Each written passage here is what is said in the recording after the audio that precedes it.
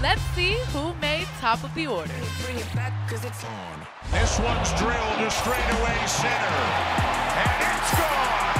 Seabold got him the first time, but Vladdy wins this one, and it's four to nothing. That had to feel good. Out to deep left. Another one off of Big Mac land. This one, a three-run shot. His eighth home run of the year. Yepez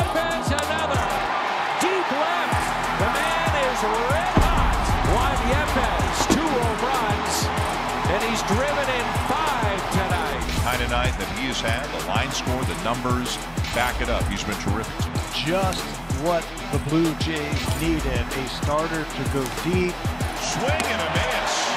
And what was likely the last pitch of the night thrown by Kevin Gausman got him strikeout number 10.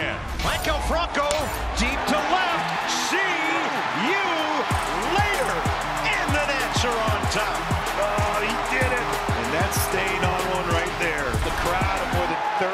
on their feet. Kuhl one out away. Dodgers got this. Dodger tucks it away.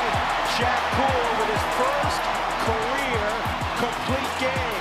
What a night for Kuhl. What a start to the series against the Dodgers. Look at this laser. Oh, my.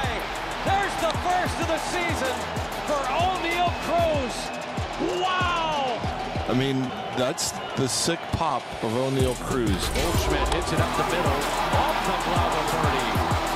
A four-hit night for Paul Goldschmidt. That's a four for four night for Paul Goldschmidt. We've seen this act before, and he just continues to hit everyone's pitches. Thanks for watching Top of the Order. We'll see you tomorrow.